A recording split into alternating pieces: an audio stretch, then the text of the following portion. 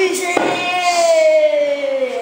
Szegfű bűzén, tüskék élén, majmok fészkén, madarak csőrén, szörnyek égén, szörnyetől menekülve a folyó vizen, a szegfű egy oldal tetején, hol vagyok én, a pénz élén, álmodtam én.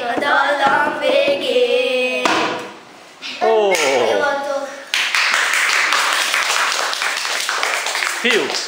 Mit hallottunk? Hát az Erdő titka című dalt.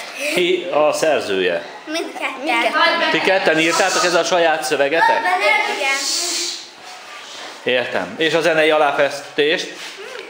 Kinek köszönhetjük? Neved? Bece Nori. A te neved, akkor mutatkozz be. Maszlak Mikolász. És a te neved? Nagy Benedek. Na most a fiúkkal, ha minden igaz, akkor találkozni fogunk a gyermeknapi Diadal utcai versenyen. Ez egy előzetes volt a produkciójukban.